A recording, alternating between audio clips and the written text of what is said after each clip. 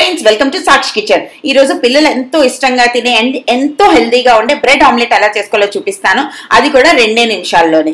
And first మనం ఒక చిన్న బౌల్ తీసుకుందాం. దాంట్లోనే రెండు ఎగ్ని బ్రేక్ చేసి వేసుకుందాం. ఇక్కడ నేను నాటుకోడి గుడ్లు యూస్ చేస్తున్నానండి. ఇవి చాలా హెల్దీ అండి కంపేర్ టు మన బాయిలర్ కోడి గుడ్లు. వీటిని ఎక్కువగా రెగ్యులర్గా యూస్ చేయండి పిల్లలకి ఇస్తూ ఉండండి.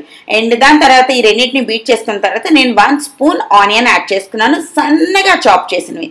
తర్వాత వన్ గ్రీన్ చిల్లీ యాడ్ చేసుకున్నాను. తర్వాత కొంచెం ఉప్పు అండ్ చిటికెడ పసుపు యాడ్ చేసుకుంటున్నాను. ఈ పసుపు యాడ్ చేయడం వల్ల మన ఆమ్లెట్లో ఒక మంచి కలర్ వస్తుందండి.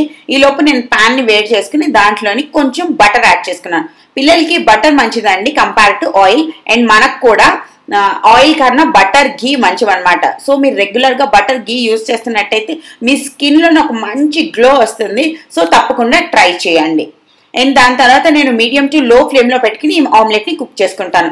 ఎగ్స్ అనేవి అన్బాయిల్డ్ హాఫ్ బాయిల్డ్ ఎగ్స్ పిల్లలకి అంత మంచిది కాదని నా పర్సనల్ ఫీలింగ్ అండి. ఎప్పుడైనా ఎగ్స్ ఇచ్చానంటే అది నేను ఫుల్గా బాయిల్ చేసి కుక్ చేసిన తర్వాత ఇస్తాను. ఆమ్లెట్ చూసారా? ఎంత బీట్ చేస్తే అంత ఫ్లఫీగా వస్తుంది అనమాట దాని తర్వాత రెండు బ్రెడ్స్ని నేను టోస్ట్గా చేసుకుంటున్నాను. ఈలోపు ఆమ్లెట్ని కట్ చేసుకుంటే చూసారుగా ఎంత ఫ్లఫీగా వచ్చిందో.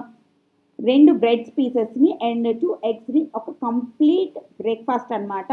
అండ్ సూపర్ హెల్దీ తప్పకుండా ట్రై చేయండి. కామెంట్ సెక్షన్లో నాతో షేర్ చేసుకోండి మీ వీడియో ఓకేనా మరో వీడియోతో రేపు కలుస్తాను. Tata bye.